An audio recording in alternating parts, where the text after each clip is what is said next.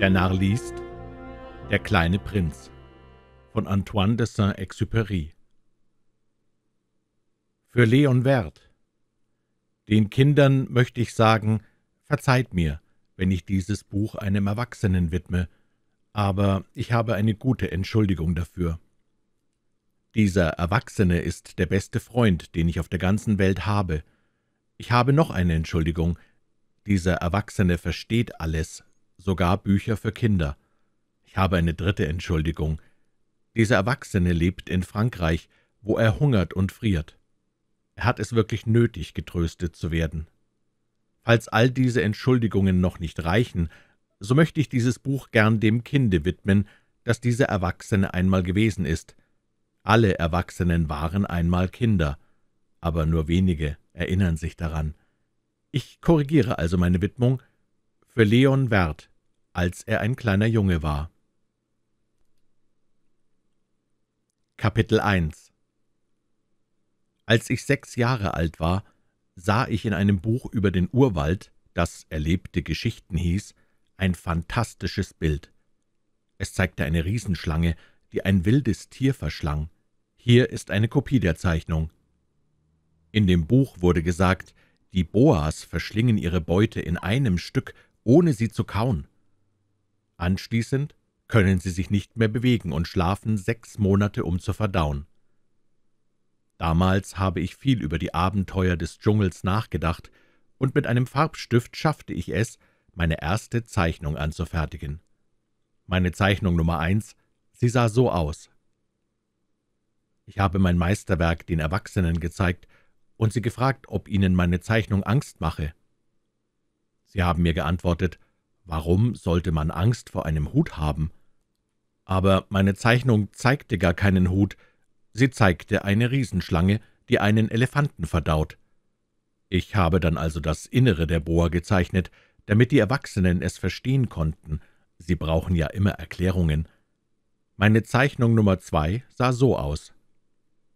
Die Erwachsenen haben mir geraten, mit dem Zeichnen von offenen oder geschlossenen Boas Schluss zu machen und mich lieber für Geographie, Geschichte, Rechnen und Grammatik zu interessieren.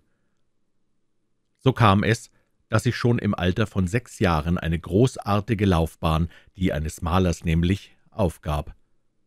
Ich war entmutigt durch den Misserfolg meiner Zeichnung Nummer eins und meiner Zeichnung Nummer zwei. Die Erwachsenen verstehen nie etwas von selbst, und für Kinder ist es anstrengend, ihnen immer und ewig Erklärungen geben zu müssen. Ich war also gezwungen, mir einen anderen Beruf auszusuchen und lernte, Flugzeuge zu steuern. Ich bin so ziemlich überall auf der Welt herumgeflogen, und die Geographie, das stimmt, hat mir dabei wirklich gute Dienste geleistet. Ich konnte auf den ersten Blick China von Arizona unterscheiden. Das ist echt nützlich, wenn man sich nachts verflogen hat. So hatte ich im Laufe meines Lebens eine Menge Kontakt mit einer Menge ernsthafter Leute. Ich habe viel Zeit mit Erwachsenen verbracht. Ich konnte sie aus nächster Nähe studieren. Das hat meine Meinung über sie nicht gerade verbessert.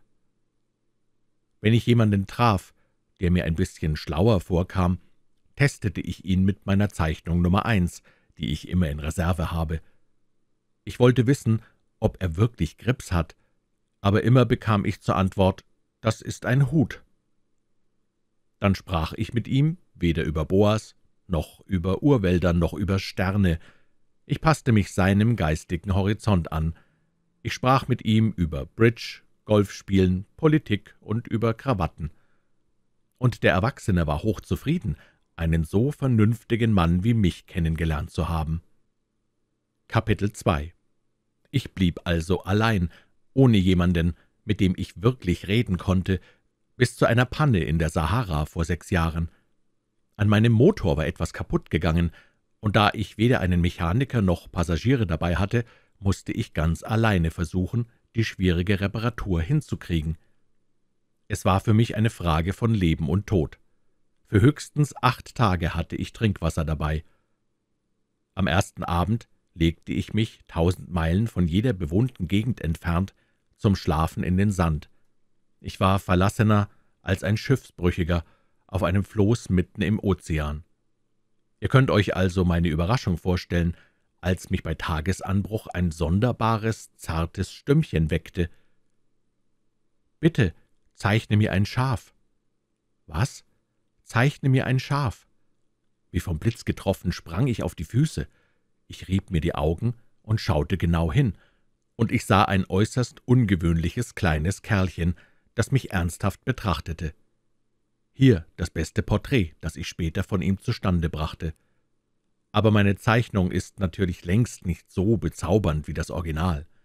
Das ist nicht meine Schuld. Im Alter von sechs Jahren war ich von den Erwachsenen in meiner Laufbahn als Maler entmutigt worden und hatte nichts zu zeichnen gelernt als geschlossene und offene Riesenschlangen. Ich betrachtete also diese Erscheinung mit vor Erstaunen aufgerissenen Augen.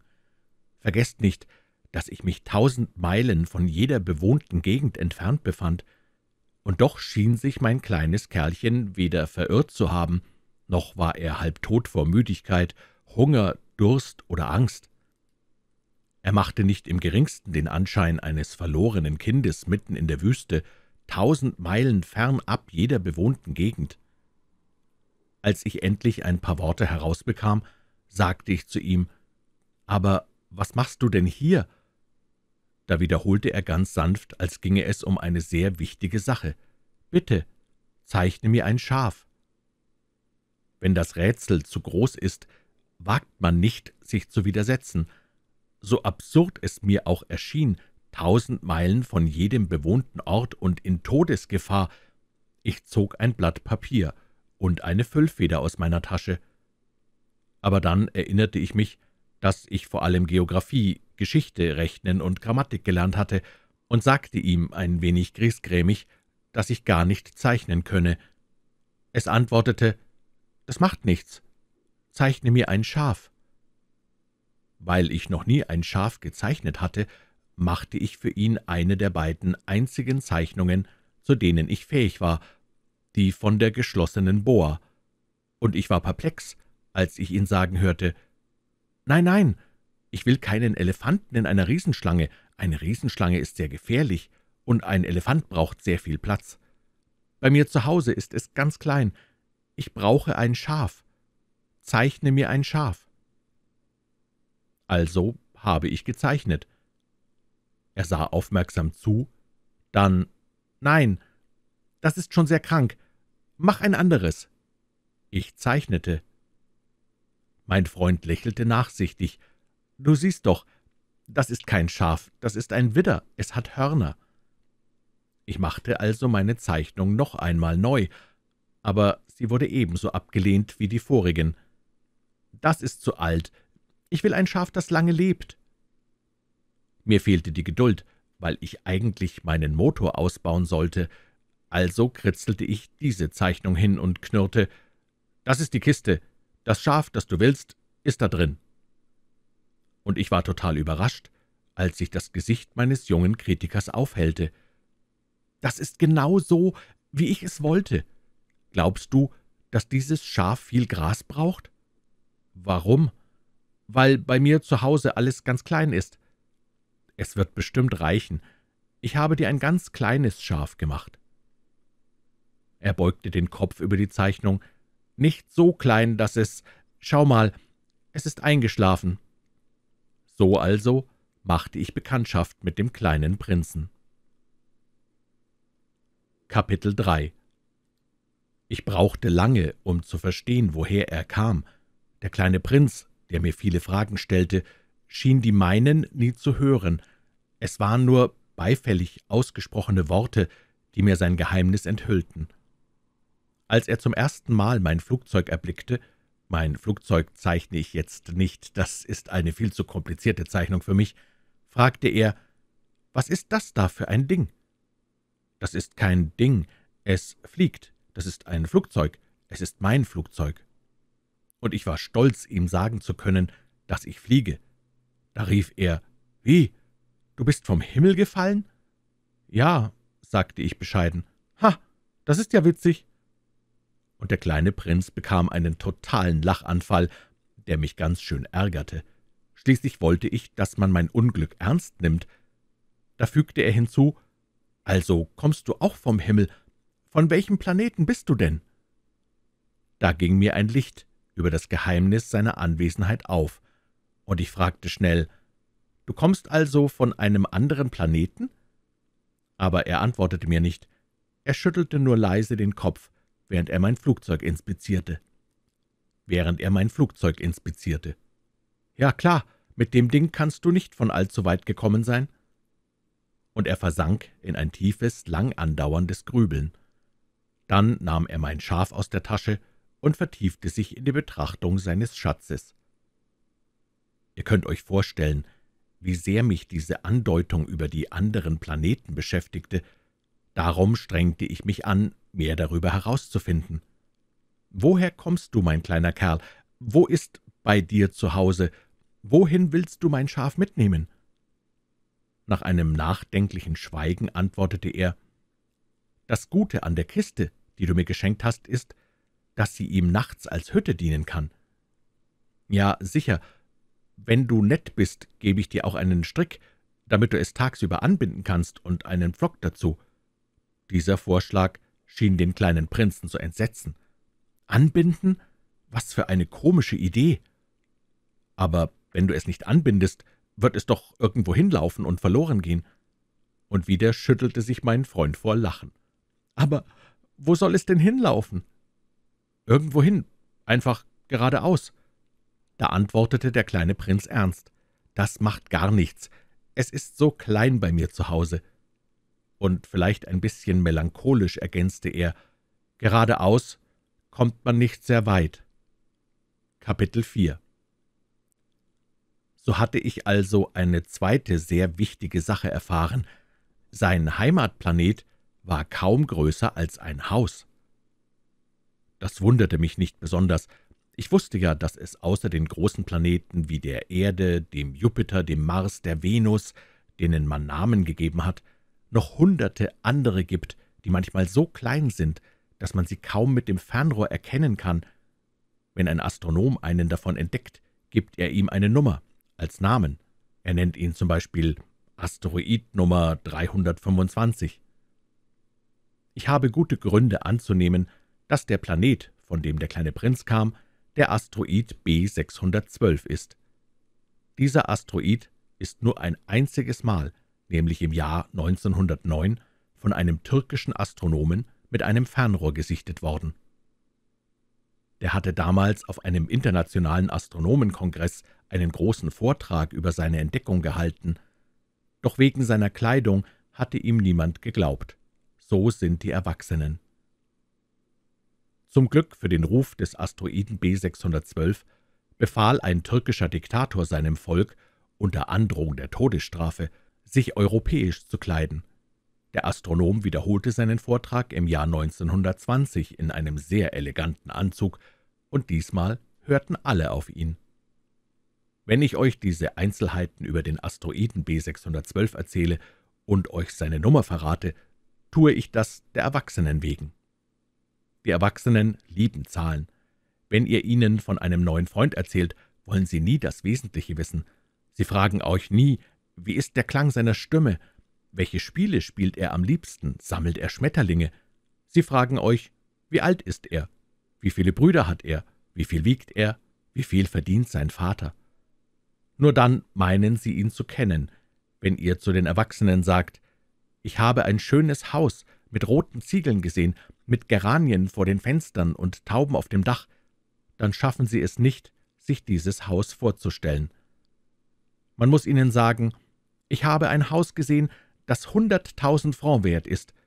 Dann rufen Sie sofort, »Ach, wie toll!« So auch, wenn ihr ihnen sagt, der Beweis dafür, dass der kleine Prinz existiert hat, besteht darin, dass er entzückend war, dass er lachte und dass er ein Schaf haben wollte denn wenn man ein Schaf haben möchte, ist das der Beweis dafür, dass man existiert. Dann werden sie die Achseln zucken und euch kindisch nennen, aber wenn ihr ihnen sagt, der Planet, von dem er kam, ist der Asteroid B612, dann werden sie überzeugt sein und euch mit ihren Fragen in Ruhe lassen. So sind sie. Man darf ihnen das nicht übel nehmen, Kinder müssen sehr nachsichtig mit den Erwachsenen sein. Aber wir, die das Leben verstehen, machen uns natürlich nur lustig über Zahlen. Ich hätte diese Geschichte lieber wie ein Märchen begonnen. Ich hätte gern gesagt, es war einmal ein kleiner Prinz, der auf einem Planeten kaum größer als er selbst wohnte und der einen Freund brauchte. Für die, die das Leben verstehen, würde das viel glaubwürdiger klingen. Denn ich möchte nicht, dass man mein Buch leichtfertig liest. Ich empfinde so viel Kummer beim Erzählen dieser Erinnerungen. Es ist nun schon sechs Jahre her, dass mein Freund mit seinem Schaf fortgegangen ist. Wenn ich hier versuche, ihn zu beschreiben, dann um ihn nicht zu vergessen. Es ist traurig, einen Freund zu vergessen.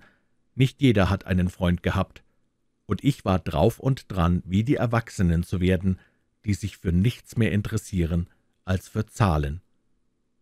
Darum habe ich mir schließlich auch einen Malkasten und Farbstifte gekauft.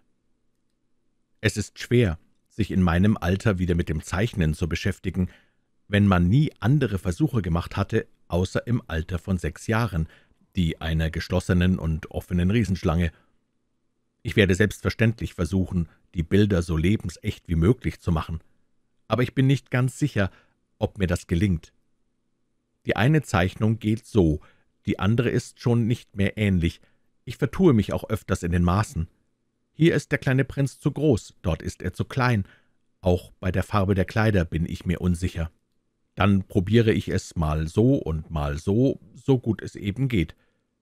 Ich werde mich vermutlich auch bei einigen wichtigeren Einzelheiten irren, aber seid mir da bitte nicht böse. Mein Freund hat mir nie Erklärungen gegeben. Er glaubte vielleicht, ich sei wie er. Aber ich bin leider nicht imstande, durch Kisten hindurch Schafe zu sehen. Ich bin halt eher wie die Erwachsenen. Ich bin eben älter geworden. Kapitel 5 Jeden Tag erfuhr ich ein wenig mehr über den Planeten, über die Abreise und die Reise. Das ergab sich ganz sachte im Laufe beiläufiger Gespräche. So kam es, dass ich am dritten Tage etwas über die Tragödie der Affenbrotbäume erfuhr. Auch diesmal hatte ich es dem Schaf zu verdanken, denn plötzlich fragte mich der kleine Prinz, wie von bohrendem Zweifel geplagt, »Es ist doch wahr, dass Schafe Sträucher fressen?« »Ja, das ist wahr. Ha, da bin ich aber froh.« Ich verstand nicht, warum es so wichtig war, dass Schafe Sträucher fressen, aber der kleine Prinz ergänzte, »Also fressen sie doch auch Affenbrotbäume.« Ich erklärte dem kleinen Prinzen, dass Affenbrotbäume keine Sträucher sind, sondern Bäume so groß wie Kathedralen, und dass nicht einmal eine ganze Elefantenherde, wenn er sie mitnähme, mit einem einzigen Affenbrotbaum fertig werden würde. Der Einfall mit der Elefantenherde brachte den kleinen Prinzen zum Lachen. Man müsste sie übereinander stellen. Aber dann bemerkte er richtigerweise, bevor die Affenbrotbäume groß werden, fangen sie ja klein an. Das ist richtig, aber warum möchtest du, dass deine Schafe die kleinen Affenbrotbäume fressen? Er antwortete, na also, das sieht doch jeder, als ob es glasklar wäre und ich musste mein Gehirn ganz schön strapazieren, um der Sache auf den Grund zu kommen. Und in der Tat gab es auf dem Planeten des kleinen Prinzen, wie auf allen Planeten, gute Kräuter und Unkräuter, und also auch gute Samenkörner von guten Kräutern und unwillkommene Samenkörner von Unkräutern. Aber die Samen sind unsichtbar. Sie schlafen im Schutz der Erde, bis es einem von ihnen in den Sinn kommt, aufzuwachen. Dann streckt er sich und treibt zuerst schüchtern einen entzückenden, harmlosen kleinen Spross in Richtung Sonne. Wenn es sich um einen Radieschen- oder Rosentrieb handelt, kann man ihn wachsen lassen, wie er will. Aber wenn es sich um eine üble Pflanze handelt, muss man die Pflanze schleunigst herausreißen, wenn man sie erkannt hat. Nun gab es aber auf dem Planeten des kleinen Prinzen fürchterliche Samenkörner, nämlich die Samen der Affenbrotbäume. Der Boden des Planeten war davon übersät. Aber einen Affenbrotbaum kann man, wenn man ihn zu lange gewähren lässt, nie mehr loswerden.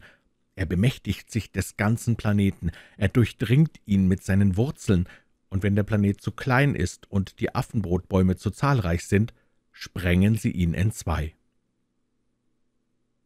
»Es ist eine Frage der Disziplin«, sagte mir später der kleine Prinz. »Wenn man mit seiner Morgentoilette fertig ist, muss man sich ebenso sorgfältig um die Toilette des Planeten kümmern. Man muss sich regelmäßig dazu zwingen, die Affenbrotsprösslinge auszureißen, sobald man sie von den Rosensträuchern unterscheiden kann. Denen ähneln sie nämlich sehr, wenn sie noch jung sind. Das ist zwar eine sehr langweilige, aber auch sehr leichte Arbeit. Und eines Tages riet er mir, ich solle mich anstrengen, um eine schöne Zeichnung zustande zu bringen, damit es den Kindern bei mir zu Hause auch richtig einleuchte. »Wenn Sie eines Tages auf die Reise gehen«, sagte er zu mir, »wird es Ihnen nützen. Manchmal macht es nichts, seine Arbeit auf später zu verschieben, aber wenn es sich um Affenbrotbäume handelt, führt das regelmäßig zu einer Katastrophe.« Ich habe einen Planeten gekannt, den ein Faulpelz bewohnte. Er hatte nur drei Sträucher vernachlässigt. Und so habe ich, nach den Angaben des kleinen Prinzen, eben diesen Planeten gezeichnet. Ich bin normalerweise kein Moralprediger, aber die Bedrohung durch Affenbrotbäume ist so wenig bekannt, und die Gefahren, die jedem drohen, der sich auf einen Asteroiden verirrt, sind so gewaltig, dass ich mich diesmal nicht zurückhalten kann. Ich sage, Kinder, hütet euch vor den Affenbrotbäumen. Um meine Freunde vor einer Gefahr zu warnen, der sie, genau wie ich, ausgesetzt waren, ohne es zu ahnen, habe ich so sehr an dieser Zeichnung gefeilt. Die Warnung, die ich damit geben möchte, war der Mühe wert. Vielleicht fragt ihr euch, warum gibt es in diesem Buch nicht noch andere ebenso großartige Zeichnungen wie die der Affenbrotbäume? Die Antwort ist ziemlich einfach. Ich habe es probiert, aber es ist mir nicht gelungen. Als ich die Affenbrotbäume zeichnete, trieb mich einfach das blanke Entsetzen.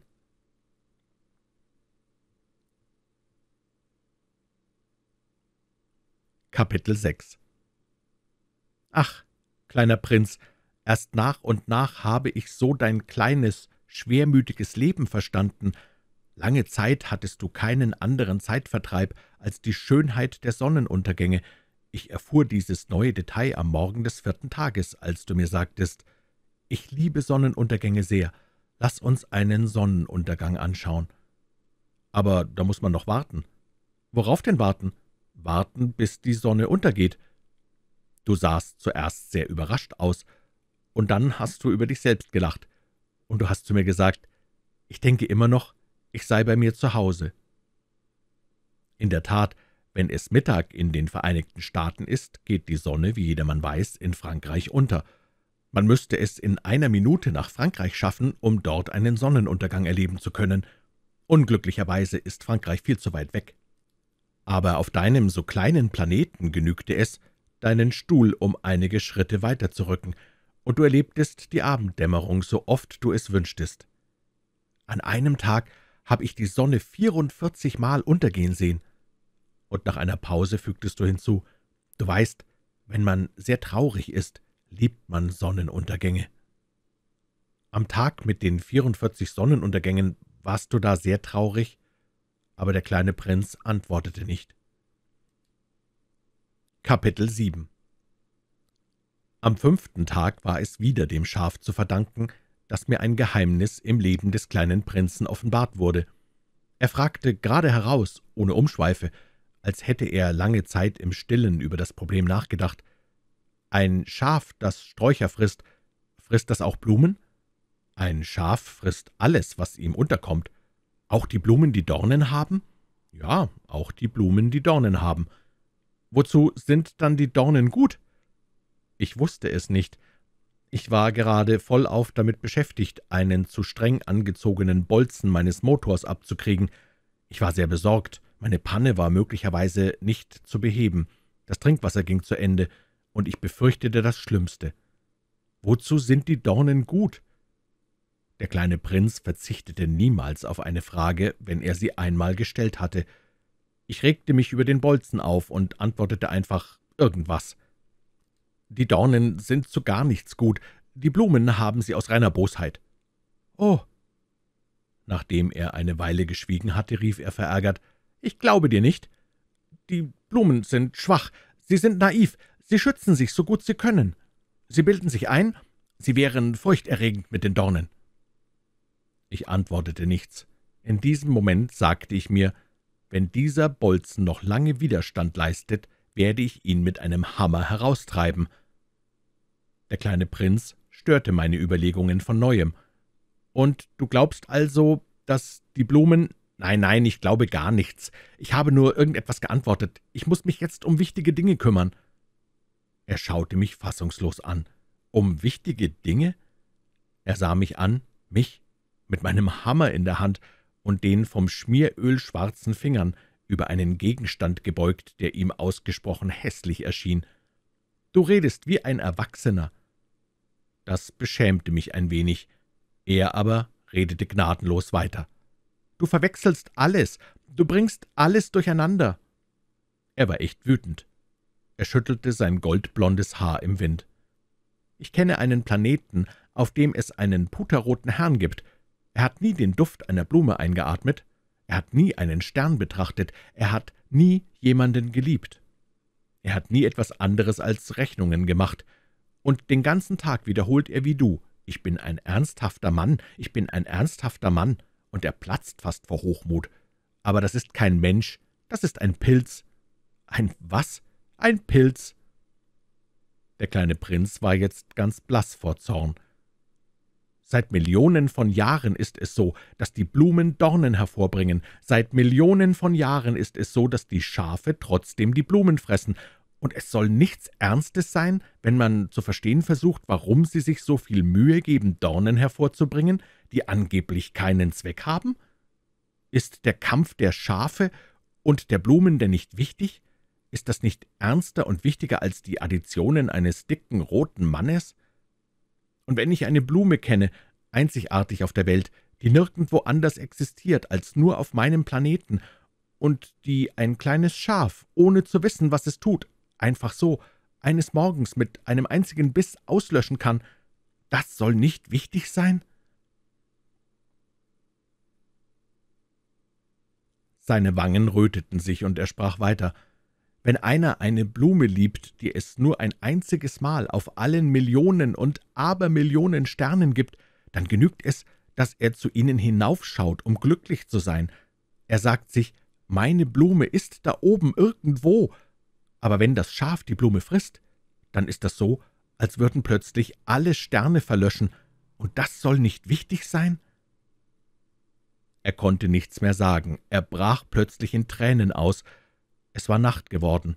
Ich hatte mein Werkzeug weggelegt. Hammer, Bolzen, Durst und Tod schienen mir nun lächerlich unwichtig. Es ging darum, auf einem Stern, einem Planeten, auf dem meinigen, auf der Erde, einen kleinen Prinzen zu trösten. Ich nahm ihn in die Arme, ich wiegte ihn, ich flüsterte, »Die Blume, die du liebst, ist nicht in Gefahr. Ich werde einen Maulkorb für dein Schaf zeichnen.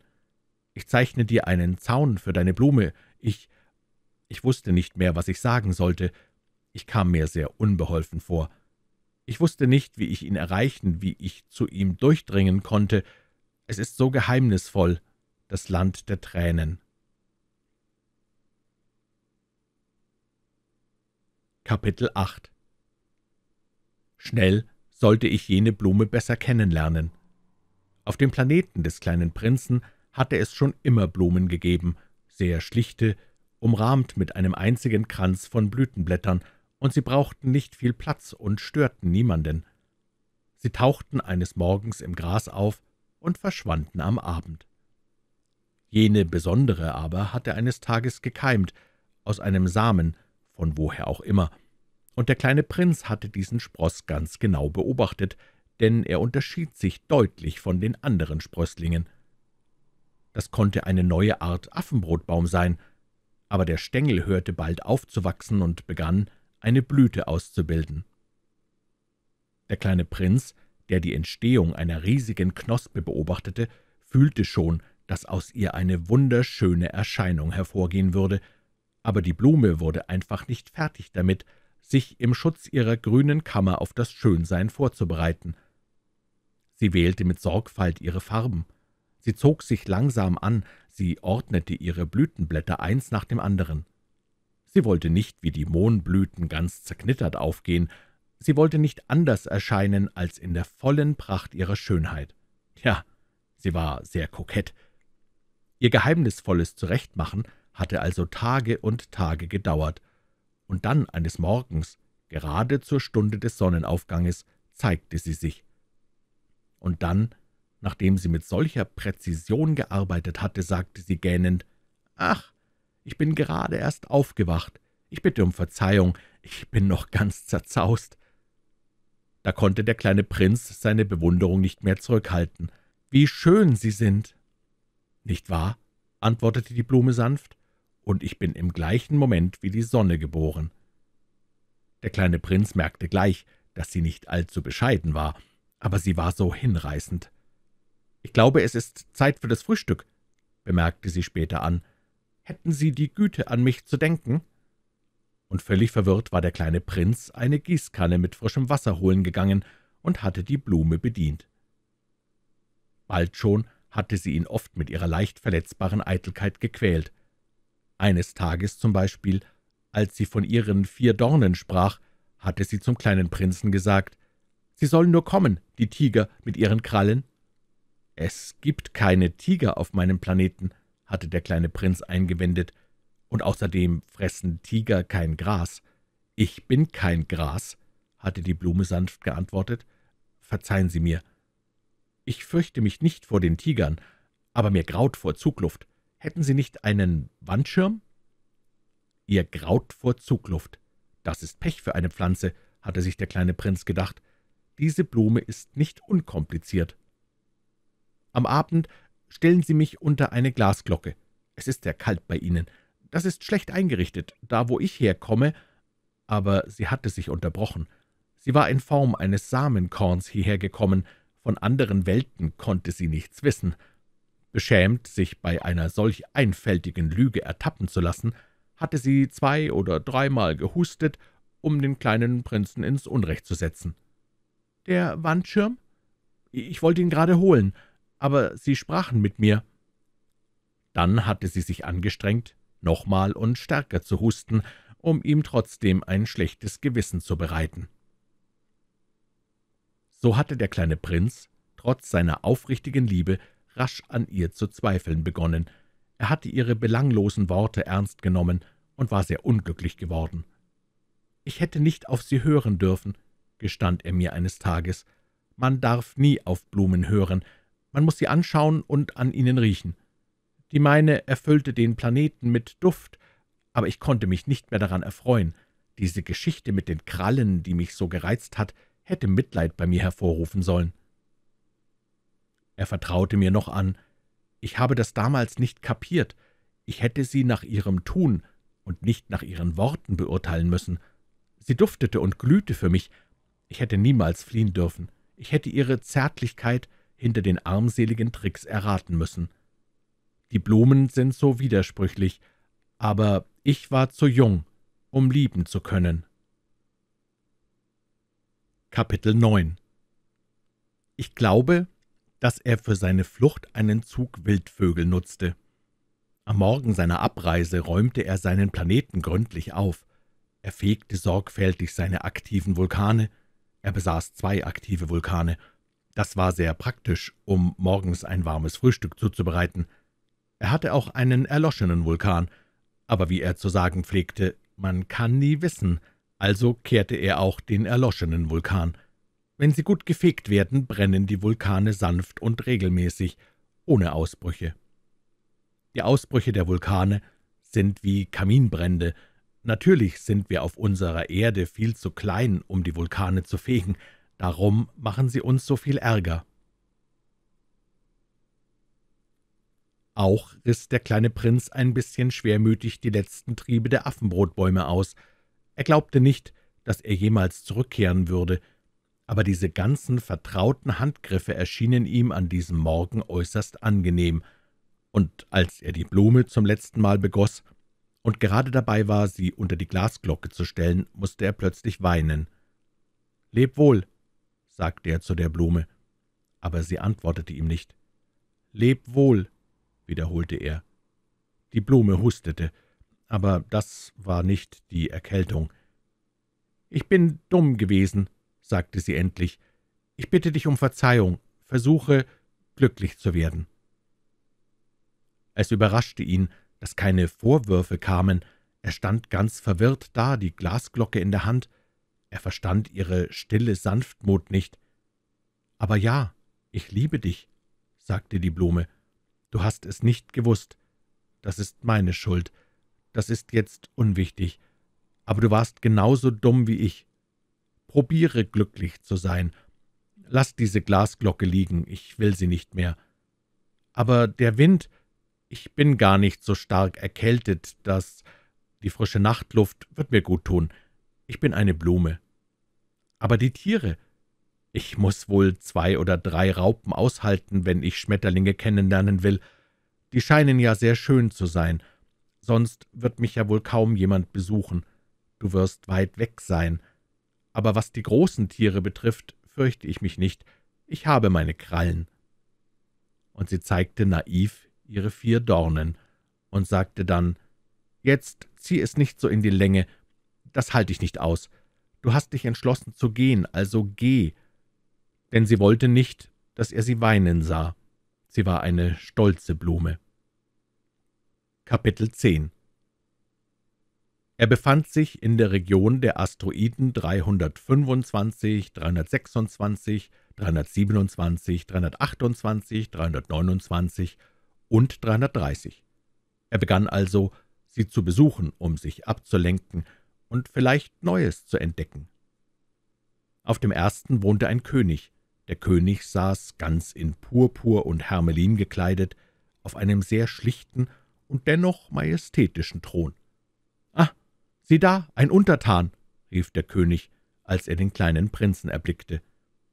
Und der kleine Prinz fragte sich, wie kann er mich kennen, wenn er mich noch nie im Leben gesehen hat? Es war ihm nicht klar, dass für Könige die Welt sehr simpel ist. Alle Menschen sind Untertanen. »Komm näher her, damit ich dich genauer betrachten kann«, sagte der König, der ganz stolz war, endlich einmal jemanden zu haben, der zu ihm aufguckte.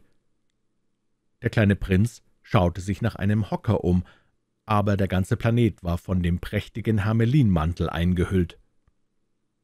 Er blieb also stehen, und weil er müde war, gähnte er. »Es verstößt gegen die Etikette, in Gegenwart eines Königs zu gähnen«, sagte der Monarch. »Ich verbiete es dir.« »Ich kann nichts dagegen tun«, antwortete der kleine Prinz ganz verwirrt. »Ich habe eine weite Reise hinter mir und nicht geschlafen.« »Dann«, sagte der König, »befehle ich dir zu gähnen.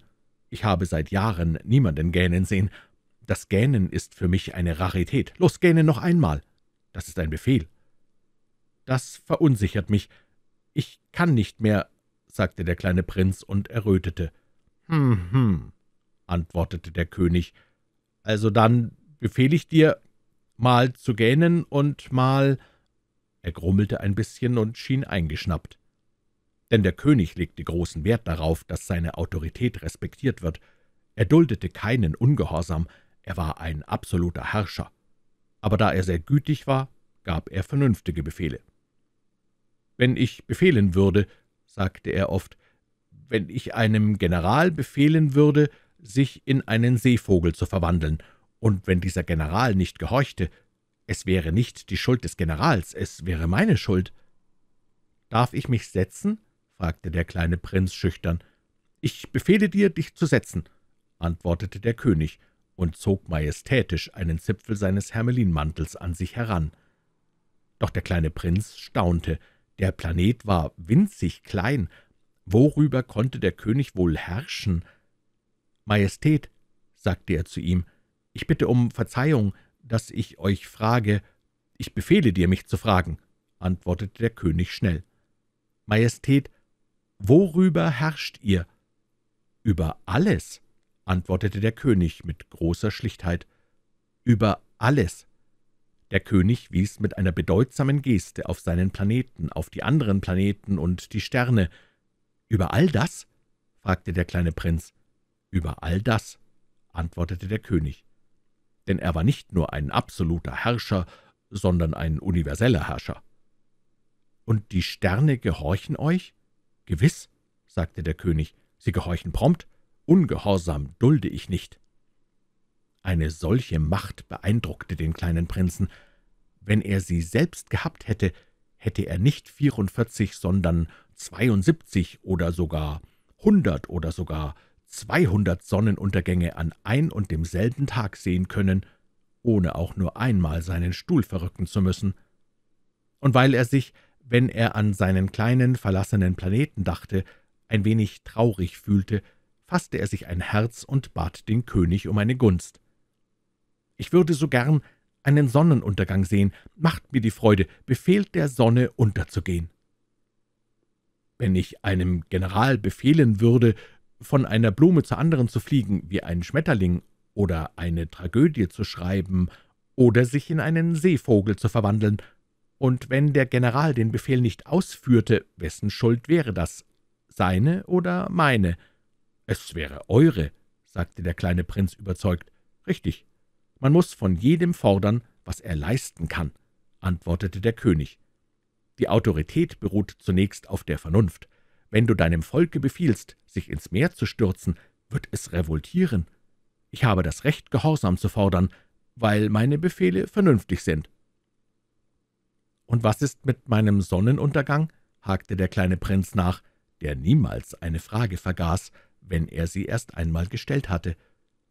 »Deinen Sonnenuntergang wirst du haben. Ich werde ihn befehlen.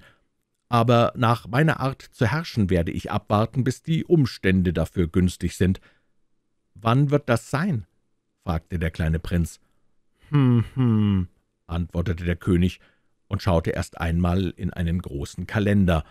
»Hm, hm, das wird sein gegen, gegen, das wird heute Abend gegen sieben Uhr vierzig sein, und du wirst sehen, wie perfekt man mir gehorcht.« Der kleine Prinz gähnte. Es tat ihm leid um den versäumten Sonnenuntergang, und außerdem langweilte er sich schon ein bisschen. »Ich habe hier nichts mehr zu tun«, sagte er zum König. »Ich muss weiter.« »Reise nicht ab«, antwortete der König, der so stolz war, einen Untertan zu haben. »Reise nicht ab, ich mache dich zum Minister.« »Zu was für einem Minister?« »Zum, zum Justizminister.« »Aber es gibt niemanden, über den man richten könnte.« »Das weiß man nicht«, sagte der König. »Ich habe noch keinen Rundgang um mein Königreich gemacht. Ich bin sehr alt, ich habe keinen Platz für einen Wagen, und das Gehen macht mich müde.« »Oh, aber ich hab's schon gesehen«, sagte der kleine Prinz, der sich bückte, um noch einmal einen Blick auf die andere Seite des Planeten zu werfen. »Dort drüben ist auch niemand.« »Du wirst also über dich selbst richten«, antwortete ihm der König. »Das ist das Schwierigste. Es ist viel schwerer, über sich selbst zu urteilen, als über andere. Wenn es dir gelingt, gut über dich selbst zu richten, dann bist du ein wirklicher Weiser.« »Über mich selbst richten kann ich überall«, sagte der kleine Prinz. »Dazu brauche ich nicht hier zu wohnen.« »Hm, hm«, sagte der König. »Ich vermute, dass es auf meinem Planeten irgendwo eine alte Ratte gibt. Ich kann sie nachts hören. Du könntest über diese alte Ratte richten. Ab und zu verurteilst du sie zum Tode. So wird ihr Leben von deiner Rechtsprechung abhängen. Aber du wirst sie jedes Mal begnadigen, um sie aufzusparen. Es gibt ja nur diese eine. Ich mag es nicht, Todesurteile auszusprechen, antwortete der kleine Prinz. Und ich glaube, ich muss jetzt los. Nein, sagte der König. Aber der kleine Prinz, der schon abmarschbereit war, wollte den alten Monarchen nicht verletzen. »Wenn Eure Majestät prompten Gehorsam wünschen, könnte sie mir einen vernünftigen Befehl erteilen. Ihr könntet mir zum Beispiel befehlen, binnen einer Minute aufzubrechen. Es scheint mir, dass die Umstände gerade günstig sind.« Weil der König nichts erwiderte, zögerte der kleine Prinz noch etwas und brach dann seufzend auf. »Ich mache dich zu meinem Botschafter«, rief ihm der König noch schnell nach. Er gab sich den Anschein großer Autorität. »Die Erwachsenen sind schon seltsam«, sagte der kleine Prinz zu sich selbst auf seiner Reise. Kapitel 11 Der zweite Planet wurde von einem Eitlen bewohnt. »Ah, ah, sieh da, Besuch von einem Bewunderer«, rief der Eitle von weitem sobald er den kleinen Prinzen erblickte. Denn für die Eitlen sind alle anderen Menschen Bewunderer. »Guten Tag«, sagte der kleine Prinz, »Sie haben ja einen seltsamen Hut auf. Der ist zum Grüßen«, antwortete ihm der Eitle. »Zum Grüßen, wenn man mir zujubelt. Unglücklicherweise kommt hier nie jemand vorbei.« »Ach ja?« sagte der kleine Prinz, der nicht wusste, was er meinte. »Klatsch mal in die Hände«, schlug ihm der Eitle deshalb vor. Der kleine Prinz klatschte. Der Eitle lüpfte seinen Hut und grüßte bescheiden damit. »Das ist amüsanter als der Besuch beim König«, sagte sich der kleine Prinz, und er klatschte nochmals in die Hände.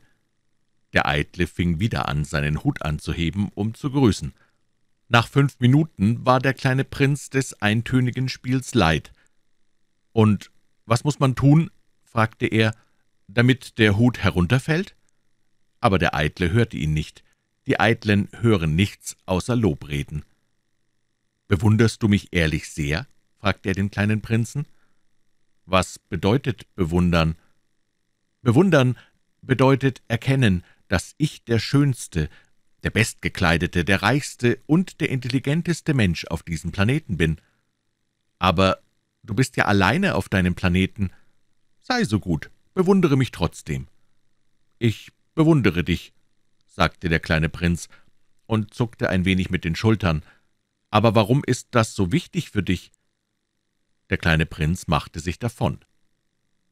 »Die Erwachsenen sind wirklich sehr, sehr merkwürdig«, sagte er im Stillen zu sich selbst während seiner Reise. Kapitel 12 Den nächsten Planeten bewohnte ein Trinker. Dieser Besuch war sehr kurz, aber er stürzte den kleinen Prinzen in eine tiefe Melancholie. »Was machst du da?« sagte er zum Trinker, den er schweigend vor einer Sammlung leerer Flaschen und einer Sammlung voller Flaschen sitzend fand. »Ich trinke«, antwortete der Trinker mit düsterer Miene. »Warum trinkst du?« fragte ihn der kleine Prinz. »Um zu vergessen«, antwortete der Trinker. »Um was zu vergessen?« erkundigte sich der kleine Prinz, der ihn jetzt schon bedauerte. »Um zu vergessen, dass ich mich schäme«, gestand der Trinker und senkte den Kopf. »Weshalb schämst du dich?« erkundigte sich der kleine Prinz, der sich wünschte, ihm zu helfen. »Fürs Trinken«, endete der Säufer und verschloss sich endgültig in sein Schweigen. Und ratlos machte sich der kleine Prinz davon. »Die Erwachsenen sind entschieden sehr, sehr seltsam«, sagte er zu sich auf seiner Reise. Kapitel 13 Der vierte Planet war der des Geschäftsmannes. Dieser Mann war so beschäftigt, dass er nicht einmal den Kopf hob, als der kleine Prinz ankam. »Guten Tag«, sagte dieser zu ihm, »Ihre Zigarette ist ausgegangen.« »Drei und zwei macht fünf, fünf und sieben zwölf, zwölf und drei fünfzehn, guten Tag, fünfzehn und sieben ist zweiundzwanzig, zweiundzwanzig und sechs achtundzwanzig, keine Zeit, sie wieder anzuzünden, sechsundzwanzig und fünf einunddreißig, uff, das macht also 500 Millionen 622.730. 500 Millionen wovon? Nanu, du bist immer noch da? 500 und eine Million von... Ich weiß nicht mehr. Ich habe so viel Arbeit. Ich bin ernsthaft. Ich lasse mich nicht von Unsinn aufhalten. Zwei und fünf ist sieben. 501 Million wovon? Wiederholte der kleine Prinz, der niemals in seinem Leben auf eine Frage verzichtete, wenn er sie erst einmal gestellt hatte. Der Geschäftsmann hob den Kopf. »In den vierundfünfzig Jahren, die ich auf diesem Planeten wohne, bin ich nur dreimal gestört worden. Das erste Mal vor 22 Jahren durch einen Maikäfer, der von weiß Gott wo heruntergefallen war, er machte einen schrecklichen Lärm, und ich habe vier Fehler in einer Addition gemacht. Das zweite Mal, vor elf Jahren, war es ein Anfall von Rheumatismus. Mir fehlt es an Bewegung. Ich habe keine Zeit, umherzuschlendern. Ich bin ernsthaft. Und das ist nun das dritte Mal. Ich sage also fünfhunderteine Million. Millionen wovon?« Der Geschäftsmann begriff, dass er keine Ruhe bekommen würde. Millionen von diesen kleinen Dingern, die man manchmal am Himmel sieht. Fliegen? Aber nein, die kleinen Dinger, die, die leuchten. Bienen? Aber nein, kleine goldene Dinger, die die Nichtstuer zum Träumen bringen. Ich bin ernsthaft, ich habe keine Zeit zum Träumen. Ach, die Sterne? Ja, genau, das, die Sterne. Und was machst du mit 500 Millionen Sternen? 501.622.731. Ich bin ernst, ich bin genau. Und was machst du mit diesen Sternen? Was ich mit ihnen mache? Ja, nichts. Ich besitze sie. Du besitzt Sterne? Ja. Aber ich habe schon einen König getroffen, der Könige besitzen nicht. Sie herrschen über. Das ist was ganz anderes. Und was hast du davon, die Sterne zu besitzen? Das macht mich reich. Und was hast du davon, reich zu sein? Dann kann ich weitere Sterne kaufen, wenn jemand welche findet. Der da, sagte der kleine Prinz zu sich selbst, der denkt ein bisschen wie mein Säufer. Indessen stellte er noch weitere Fragen. Wie kann man die Sterne besitzen? Wem gehören sie? erwiderte der Geschäftsmann mürrisch. Ich weiß nicht, niemandem? Dann gehören sie mir, denn ich habe als erster daran gedacht. Das genügt? Sicher. Wenn du einen Diamanten findest, der niemandem gehört, dann gehört er dir. Wenn du eine Insel findest, die niemandem gehört, dann gehört sie dir. Wenn du als erster eine Idee hast und du lässt sie patentieren, sie gehört dir. Und ich, ich besitze die Sterne, da niemand vor mir daran gedacht hat, sie zu besitzen. Das ist wahr, sagte der kleine Prinz. »Und was machst du mit ihnen?« »Ich verwalte sie. Ich zähle sie und zähle sie wieder«, sagte der Geschäftsmann. »Es ist kompliziert, aber ich bin ein ernsthafter Mann.« Der kleine Prinz war noch nicht zufrieden. »Wenn ich einen Schal besitze, kann ich ihn mir um meinen Hals legen und mitnehmen. Wenn ich eine Blume besitze, kann ich meine Blume pflücken und mitnehmen. Aber die Sterne kannst du nicht pflücken. »Nein, aber ich kann sie auf die Bank bringen.« »Was soll das heißen?« »Das soll heißen, ich schreibe die Zahl meiner Sterne auf ein kleines Papier, und dann schließe ich dieses Papier in ein Schließfach ein.« »Und das ist alles?« »Das genügt.« »Das ist amüsant«, dachte der kleine Prinz. »Es ist recht poetisch, aber es ist nicht ganz ernst zu nehmen.« Der kleine Prinz hatte von den ernsthaften Dingen eine ganz andere Vorstellung als die Erwachsenen. »Ich«, sagte er noch, »ich besitze eine Blume, die ich jeden Tag gieße. Ich besitze drei Vulkane, die ich jede Woche fege. Denn ich fege auch den, der erloschen ist. Man kann nie wissen. Es nützt meinen Vulkanen und es nützt meiner Blume, dass ich sie besitze.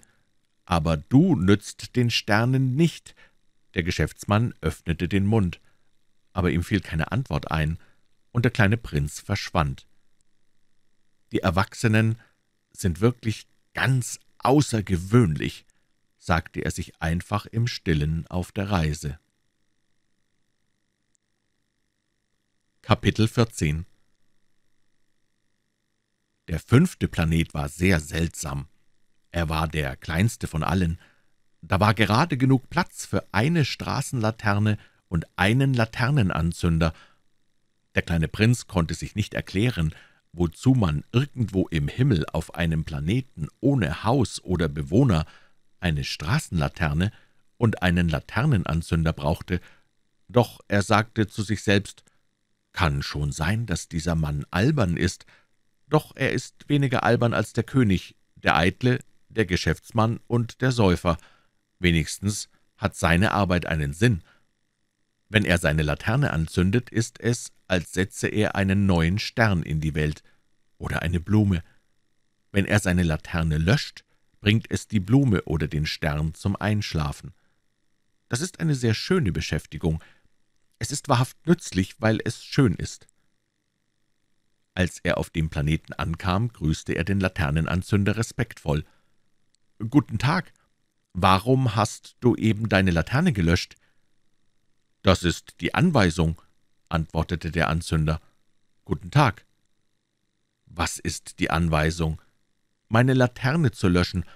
Guten Abend.« Und er zündete sie wieder an. »Aber warum hast du sie schon wieder angezündet?« das ist die Anweisung«, antwortete der Anzünder.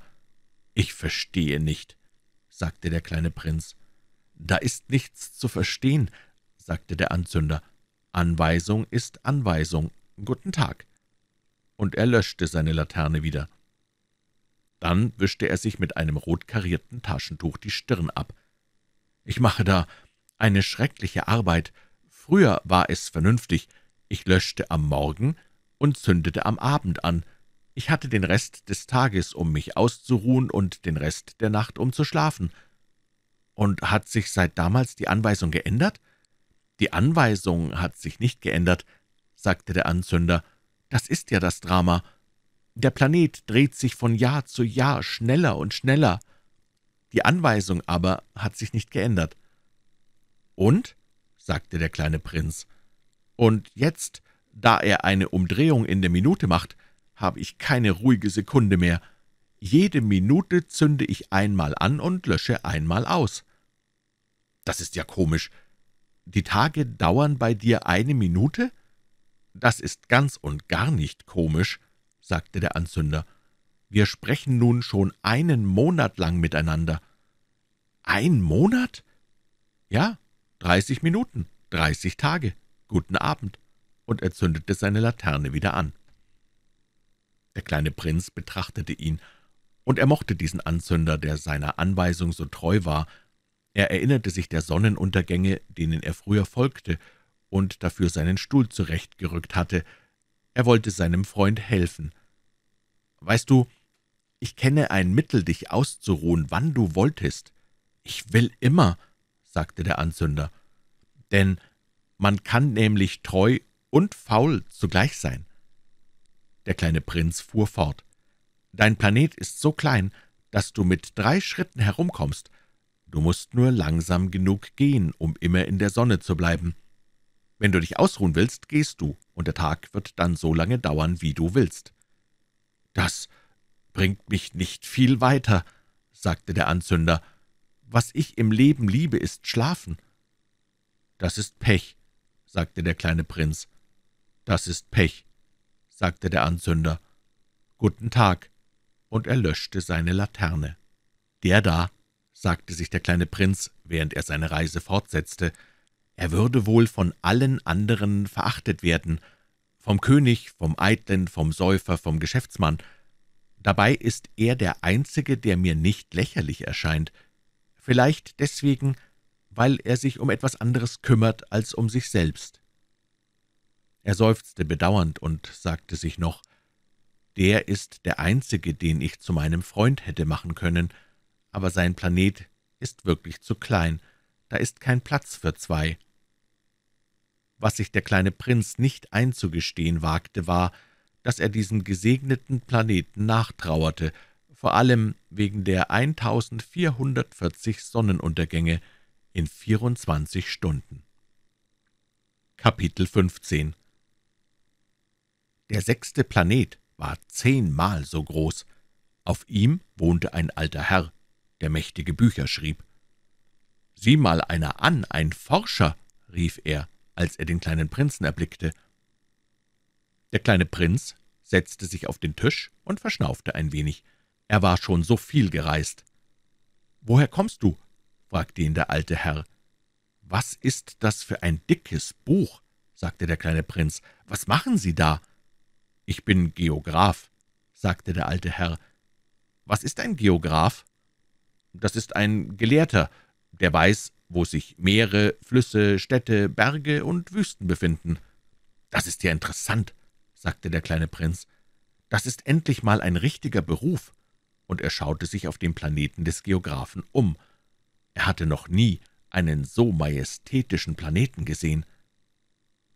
»Er ist sehr schön, Ihr Planet«, »Gibt es hier Ozeane?« »Das kann ich nicht wissen«, sagte der Geograph. »Ach«, der kleine Prinz war enttäuscht. »Und Berge?« »Das kann ich nicht wissen«, sagte der Geograph.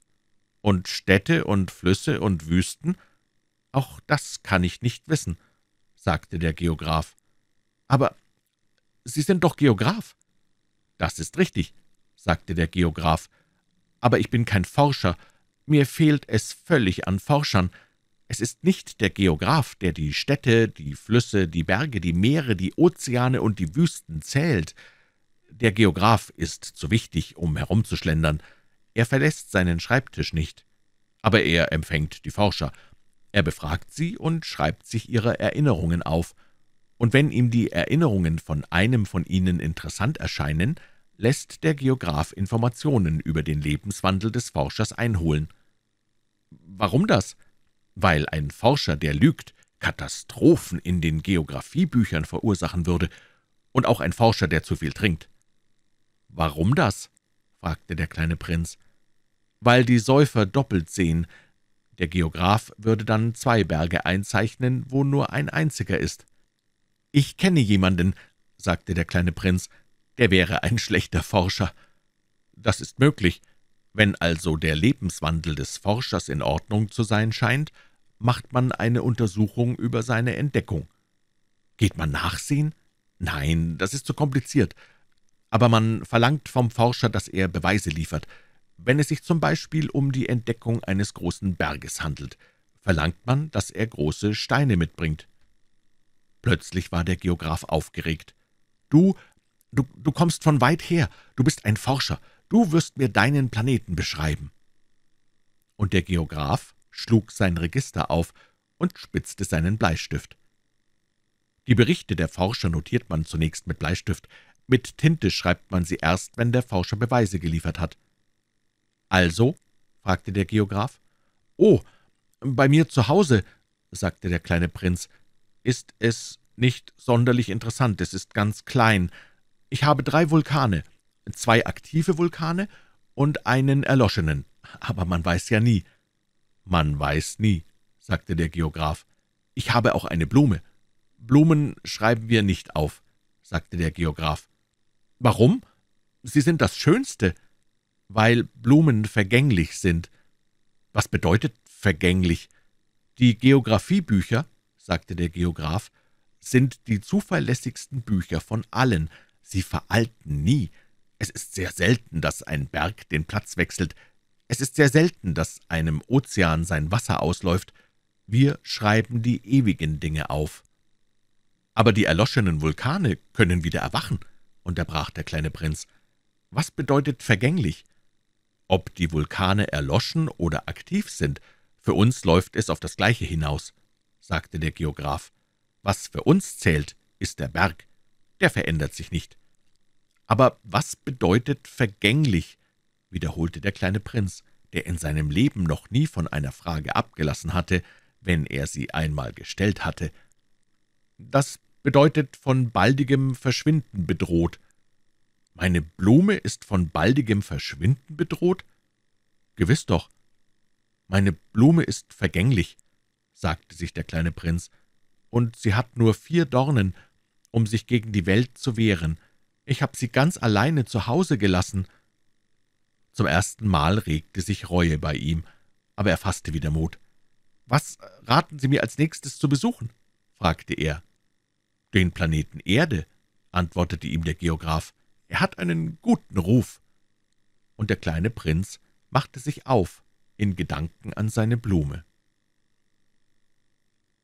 Kapitel 16 Der siebte Planet war also die Erde.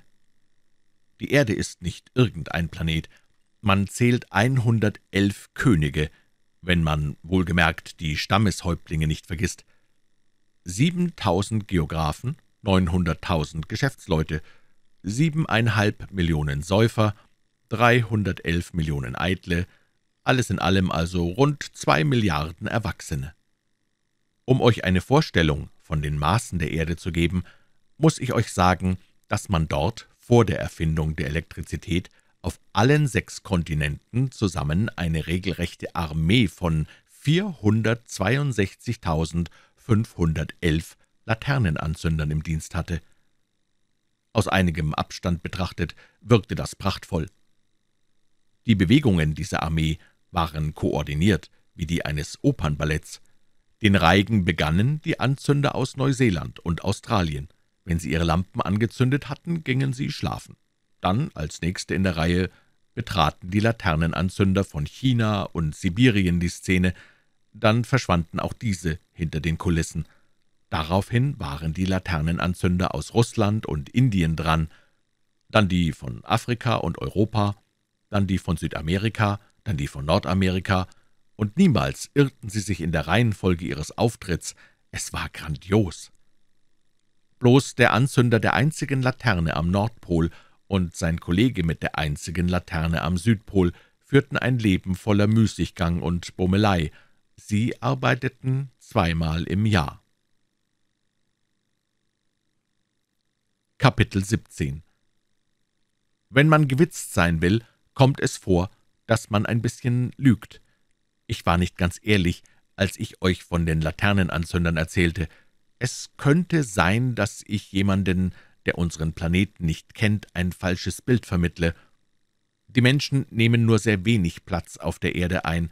Wenn sich die zwei Milliarden Einwohner, die auf der Erde leben, aufrecht und ein wenig gedrängt hinstellen würden, wie bei einer Versammlung, kämen sie auf einem öffentlichen Platz von zwanzig Meilen Länge und zwanzig Meilen Breite ohne weiteres unter.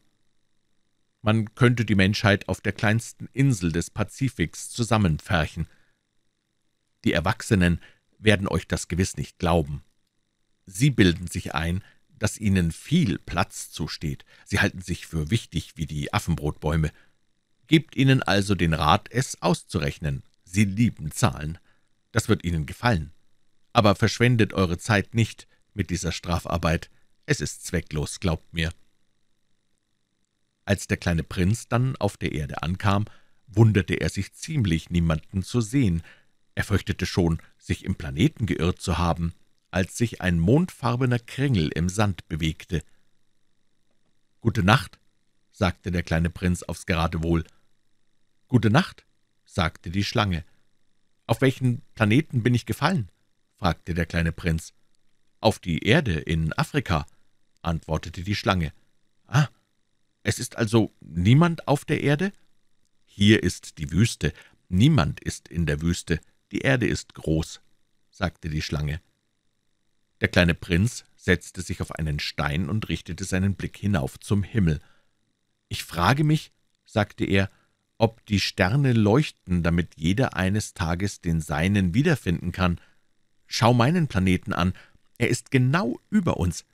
Wie weit weg er doch ist!« »Er ist schön«, sagte die Schlange.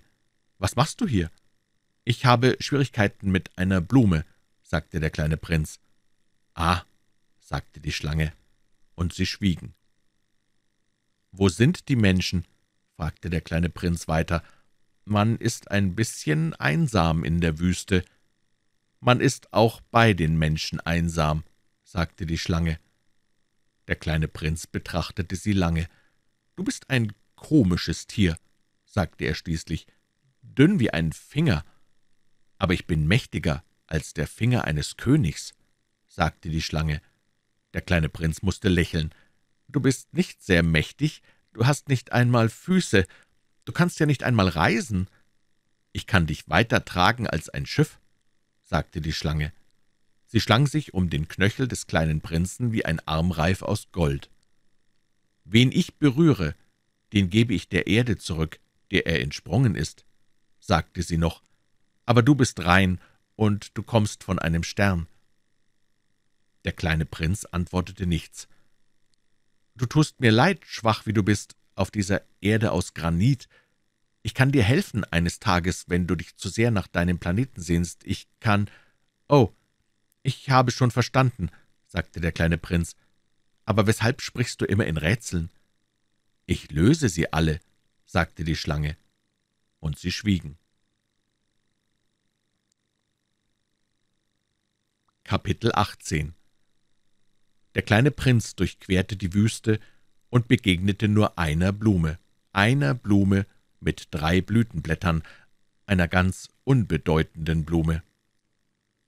»Guten Tag«, sagte der kleine Prinz. »Guten Tag«, sagte die Blume. »Wo sind die Menschen?« fragte der kleine Prinz höflich. Die Blume hatte einmal eine Karawane vorbeiziehen sehen. »Die Menschen? Es gibt, glaube ich, sechs oder sieben. Ich habe sie vor Jahren gesehen, aber man weiß nie, wo man sie findet. Der Wind treibt sie herum. Ihnen fehlen Wurzeln, das ist sehr lästig für Sie. Adieu, sagte der kleine Prinz. Adieu, sagte die Blume. Kapitel 14 Der kleine Prinz bestieg einen hohen Berg. Die einzigen Berge, die er bis dahin gekannt hatte, waren die drei Vulkane, die ihm bis zum Knie gingen, und den erloschenen Vulkan benutzte er als Hocker. Von einem Berg so hoch wie diesem, sagte er sich also, werde ich mit einem Blick den ganzen Planeten und alle Menschen sehen, aber er sah nichts als schroffe Felszacken. »Guten Tag«, sagte er aufs Geradewohl. »Guten Tag, guten Tag, guten Tag«, antwortete das Echo. »Wer seid ihr?« sagte der kleine Prinz. »Wer seid ihr? Wer seid ihr? Wer seid ihr?« antwortete das Echo. »Seid meine Freunde, ich bin allein«, sagte er. »Ich bin allein, bin allein, bin allein«, antwortete das Echo. »Was für ein komischer Planet«, dachte er da. »Er ist ganz trocken und ganz zackig und ganz salzig, und den Menschen mangelt es an Fantasie. Sie wiederholen, was man ihnen sagt. Zu Hause hatte ich eine Blume, sie sprach immer als Erste. Kapitel 20 Aber schließlich, nachdem der kleine Prinz lange über Sand, Steine und Schnee gelaufen war, entdeckte er endlich eine Straße, und Straßen führen alle zu den Menschen. »Guten Tag«, sagte er. Es war da ein blühender Rosengarten. »Guten Tag«, sagten die Rosen. Der kleine Prinz schaute sie an. Sie sahen alle aus wie seine Blume. »Wer seid ihr?« fragte er sie verblüfft. »Wir sind Rosen«, sagten die Rosen. »Ach«, sagte der kleine Prinz. Und er fühlte sich sehr unglücklich. Seine Blume hatte ihm erzählt, sie sei im ganzen Universum die einzige ihrer Art. Und siehe da, es gab fünftausend davon, eine wie die andere in einem einzigen Garten. Sie wäre sehr beleidigt, sagte er sich, wenn sie das sähe. Sie würde fürchterlich husten und so tun, als würde sie sterben, um der Lächerlichkeit zu entgehen. Und ich müsste so tun, als pflegte ich sie, denn wenn nicht, ließe sie sich wirklich sterben, nur um mich auch zu demütigen. Dann sagte er sich noch, ich hielt mich für reich dank einer einzigen Blume, doch besitze ich nur eine gewöhnliche Rose. Sie und meine drei Vulkane, die mir bis ans Knie reichen, und von denen einer vielleicht für immer erloschen ist, das macht aus mir keinen besonders großen Prinzen.« Und er legte sich ins Gras und weinte.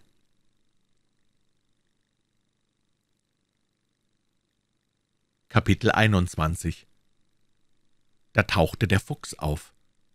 »Guten Tag«, sagte der Fuchs. »Guten Tag«, antwortete der kleine Prinz höflich und drehte sich um, sah jedoch nichts. »Hier bin ich«, sagte die Stimme unter dem Apfelbaum. »Wer bist du?« sagte der kleine Prinz. »Du bist sehr schön.« »Ich bin ein Fuchs«, sagte der Fuchs. »Komm, spiel mit mir«, schlug der kleine Prinz vor. »Ich bin so traurig.« »Ich kann nicht mit dir spielen«, sagte der Fuchs. »Ich bin nicht gezähmt.« »Ah, Verzeihung«, sagte der kleine Prinz. Aber nach einigem Überlegen fügte er hinzu, »Was bedeutet zähmen?« »Du bist nicht von hier«, sagte der Fuchs. »Was suchst du?« »Ich suche die Menschen«, sagte der kleine Prinz. »Was bedeutet zähmen?« »Die Menschen«, sagte der Fuchs, »die haben Gewehre und jagen, das ist sehr lästig. Sie halten auch Hühner, das ist ihr einziges Interesse. Suchst du Hühner?« »Nein«, sagte der kleine Prinz, »ich suche Freunde.« »Was heißt zähmen?« »Das ist eine Sache, die allzu sehr in Vergessenheit geraten ist«, sagte der Fuchs. »Es bedeutet Bande knüpfen.« »Bande knüpfen?« »Gewiss«, sagte der Fuchs. »Du bist für mich noch nichts als ein kleiner Junge, wie hunderttausend andere kleine Jungen, und ich brauche dich nicht. Und du brauchst auch mich nicht. Ich bin für dich nur ein Fuchs. gleich hunderttausend anderen Füchsen. Aber wenn du mich zähmst, werden wir einander brauchen. Du wirst für mich einzigartig auf der Welt sein. Ich werde für dich einzigartig auf der Welt sein.« »Ich fange an zu verstehen«, sagte der kleine Prinz. »Es gibt da eine Blume. Ich glaube, sie hat mich gezähmt.« »Das ist schon möglich«, sagte der Fuchs.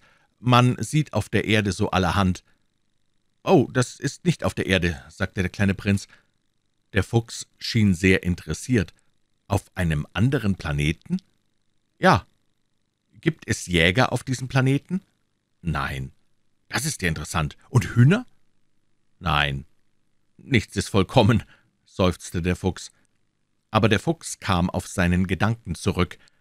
»Mein Leben ist eintönig. Ich jage Hühner, die Menschen jagen mich. Alle Hühner gleichen einander, und alle Menschen gleichen einander. Ich langweile mich also ein bisschen, aber wenn du mich zähmst, wird die Sonne in meinem Leben aufgehen.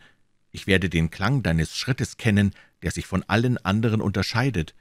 Fremde Schritte lassen mich unter die Erde flüchten, deine werden mich aus dem Bau hervorlocken, wie Musik. Und dann schau da, du siehst die Weizenfelder dort? Ich esse kein Brot, der Weizen ist für mich belanglos. Die Weizenfelder erinnern mich an nichts, und das ist traurig. Aber du hast goldenes Haar, darum wird es wunderbar sein, wenn du mich gezähmt hast. Der goldfarbene Weizen wird mich an dich erinnern, und ich werde das Rauschen des Windes in den Weizenfeldern lieben.« Der Fuchs verstummte und schaute den Prinzen lange an. »Bitte, zähme mich«, sagte er.